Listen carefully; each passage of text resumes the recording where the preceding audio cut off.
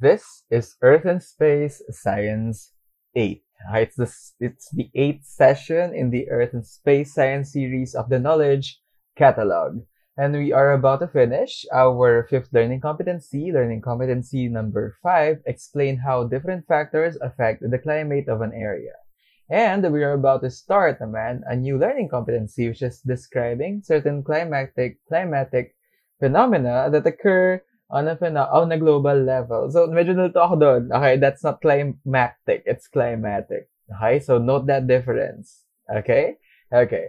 So if you want to follow through with the learner's module, you can open it in Unit 3, Module 2, pages 41 to 42. Okay, let's begin. The three parts of this uh, session will be the following. The first is a discussion about ocean currents, and it will be followed by activity number 5, temperature of different cities around the world. And then uh, it's going to be followed by another activity, which is uh, much like uh, parang a diagram analysis lang that we will be doing on greenhouse effect. Okay, so um, let's begin with the first uh, part, a discussion. Okay, so um, this is a very familiar um, illustration for you. Yeah, it's the uh, it's a it's a map of the world. Yeah, okay. So it's a map of the world. All right. So what this shows you, uh, though, are these um, arrows. Yung kulay red, it says here the warm current of air yon, and then the other one, cold naman, which is blue. Mm-hmm. Okay, so I would like you to look at uh, these, know, at these arrows, okay, all around the globe. Yung black naman, it represents uh, the general direction of the of the wind. Okay, so halimbawa, in this case, ang general direction ng wind is pa ganito. So it's much, it's much like counterclockwise. Ne? Okay. Dito, na, dito naman, ang general direction of the wind is clockwise. Okay. So, uh, being known as the blue planet, natural lang uh, para sa ano, para sa planet natin na magkaroon ng weather system. okay, so the Earth's weather system is an affair of the winds and water in as much as it is also affected by some landforms. So, yes, apektado ang uh, apektado ang ating climate by certain landforms, by mountains, yeah, by bodies of water.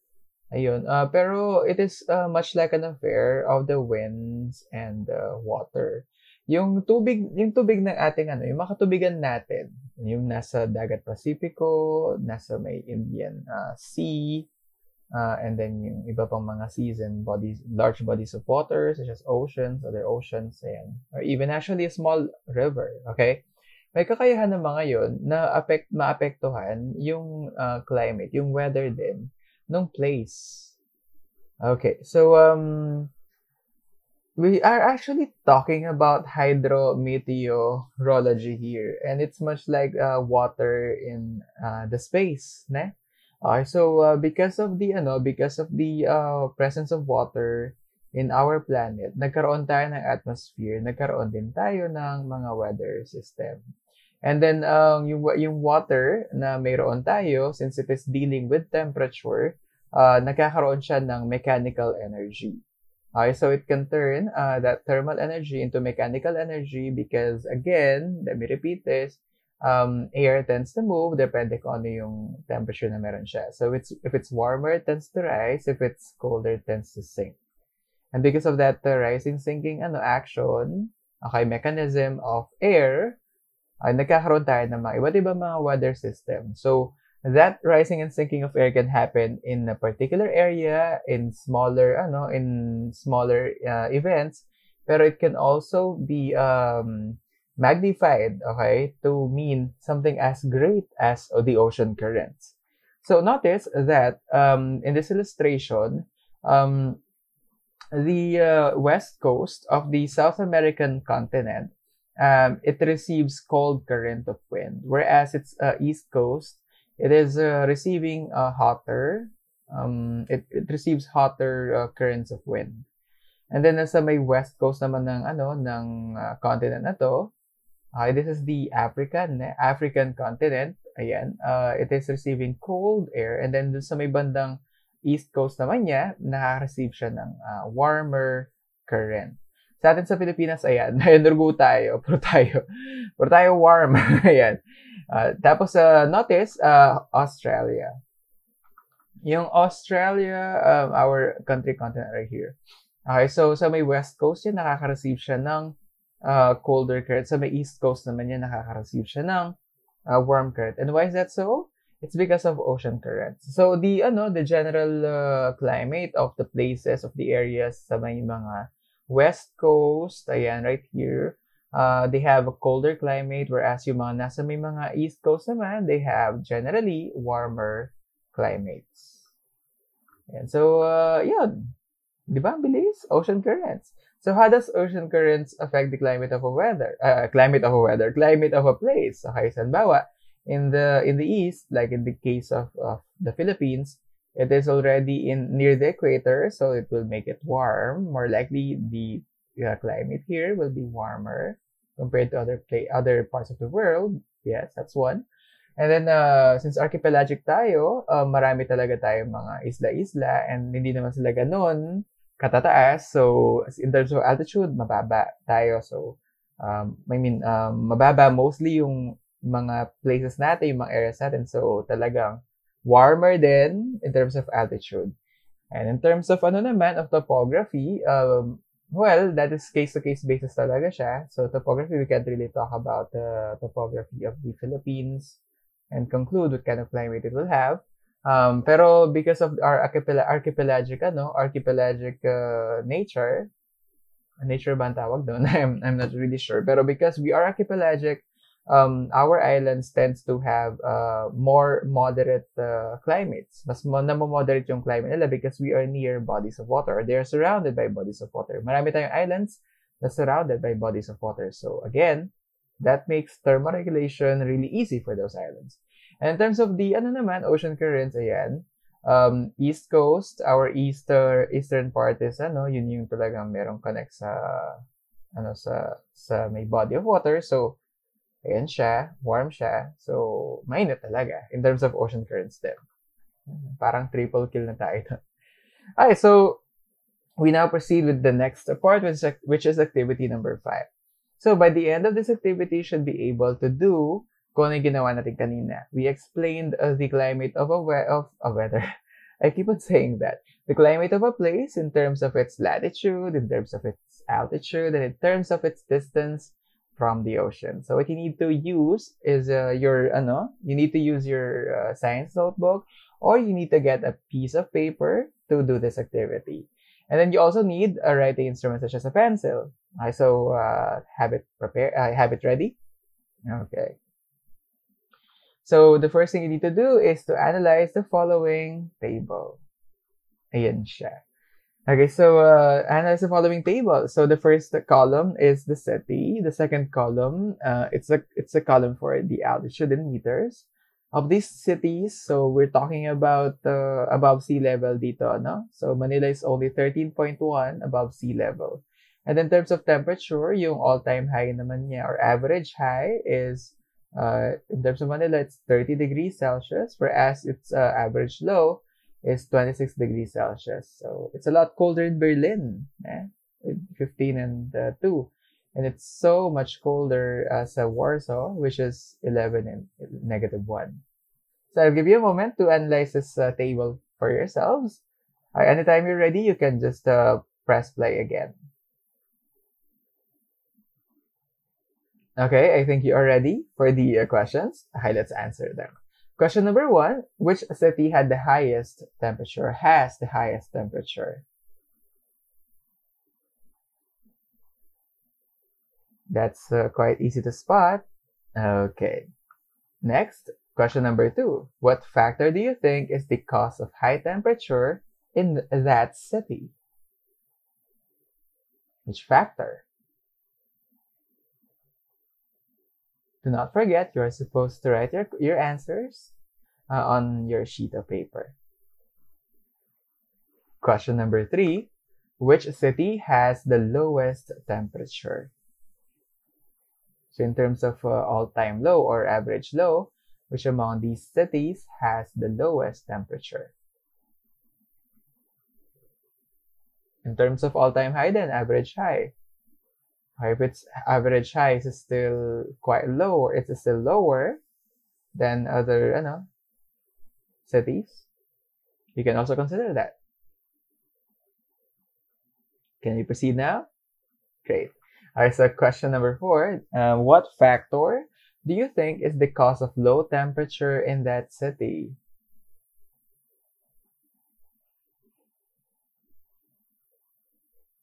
So which what factor do you think? And then a question number five, what factor do you think greatly affects the climate of Tokyo? So Tokyo is right here. Our altitude is about 20.1 meters above sea level, and then its all-time high average high is 21 degrees Celsius, and its uh, all-time low or uh, average low is 18 degrees Celsius. So what do you think is the uh, reason why Tokyo has uh, these temperature temperature readings? You can pause this video if you need more time. Okay, if you have decided to continue, let's proceed with question number six. I think this is the last question in this activity. So how does the elevation of Paris or Paris affect its climate? So the elevation of Paris is 30 uh, meters above sea level. It has uh, an average high of 23 degrees Celsius and it has an average low of 18 degrees Celsius. So, mm-hmm.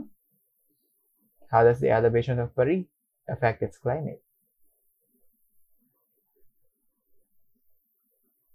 Okay, I think you are ready to answer the question. So let's proceed. The answer to question number one is Manila. It has the highest temperature in this table. Yes, uh, with uh, 30 degrees Celsius and an all-time low of around uh, 26 degrees Celsius. So compared compared to Cairo, okay, so yung 31 niya na ano naman siya ng 22. Okay, so yun yung low niya. So masyado malamig compared sa 26 natin.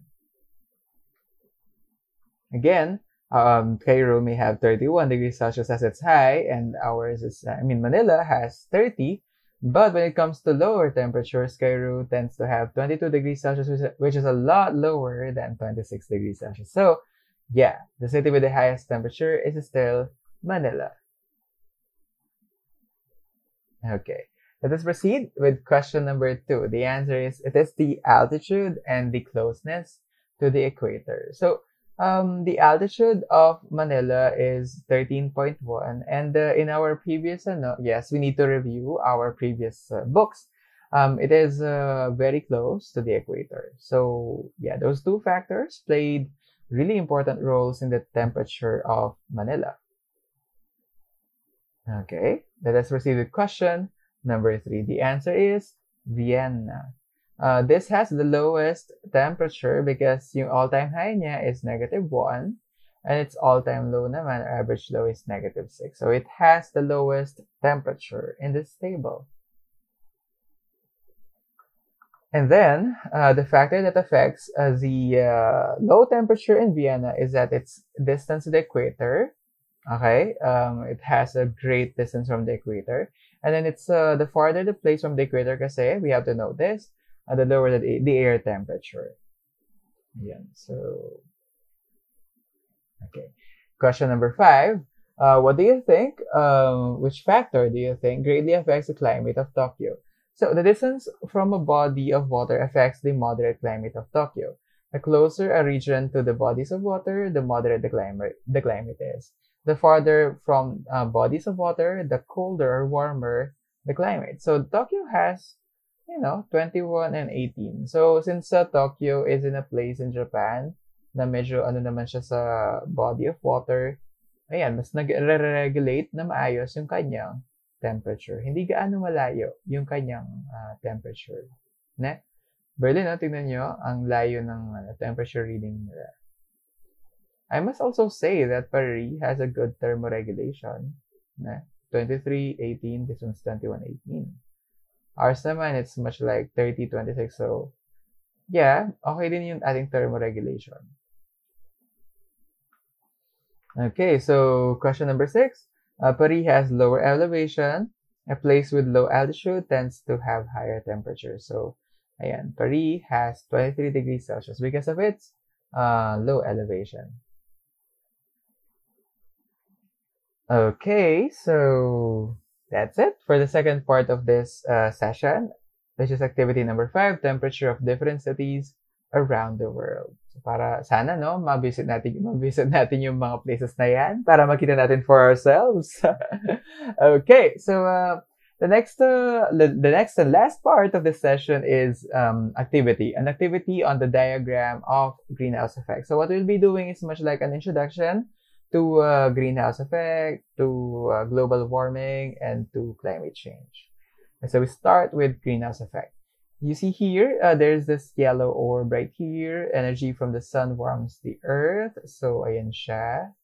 Yeah, And then uh, some escapes back into this into space, and then some is held by greenhouse gases in the atmosphere. So the earth is about ano daw, 60 degrees Fahrenheit. So without the atmosphere though, our ano, our temperature will be an absolute zero degree Fahrenheit. Okay, so keep your ano, your notebooks ready and your uh, sheets of paper ready. Oh, medyo nauna yung ano yung check natin. So sorry I was not able to search that up. So the energy in the diagram that is uh, being transferred is solar energy. Okay, so keep that in mind. Uh, take note of that solar energy. And that solar energy, of course, it originates from the sun. And uh, the Earth's atmosphere can filter out some of the ultraviolet radiation. Okay, and then it can also trap some heat uh, that the surface reflects back to the space for thermoregulation of the planet. So, ang nangyayari dito is ganito. So, look at the diagram closely. Um, solar energy is produced by the sun, and that solar energy has thermal energy in it too uh, which reaches the planet. Okay? And the planet uh, has an ability to filter out some of the UV radiation para di makabalik. Okay, may, may ganun siyang capability. And then yung makapag-reach sa atin, uh, it's much like a very, ano, a very weak version of that uh, strong UV radiation.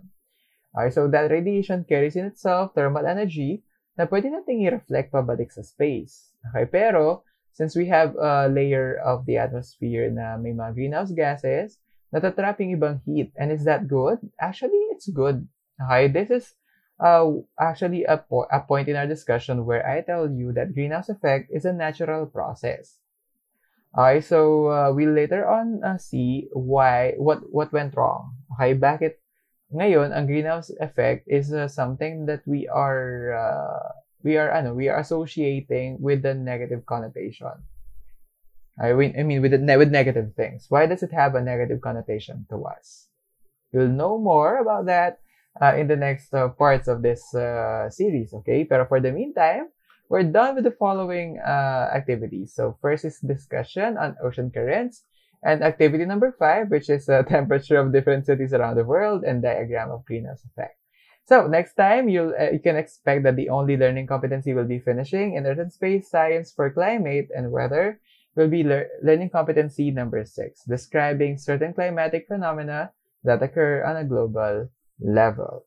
Okay, so this is Sir CJ Manlapads, and I hope that you learned something in this uh, session of the Earth and Space Science series of the Knowledge Catalog. I am hoping to see you soon uh, in the uh, soon. Okay, bye. Saying soon. Sana makita ko kayo in the next uh, video uh, lesson. Do not forget to subscribe to this channel and then uh, like this video. If you find these interesting, you can hit the bell button, uh, yung notification bell for so that you'll be notified okay, when I upload new content. And uh, support me uh, through ano by giving me some ano by giving me some uh, positive comments or some directives okay on how to do better next time uh, in our in the videos that I'm producing.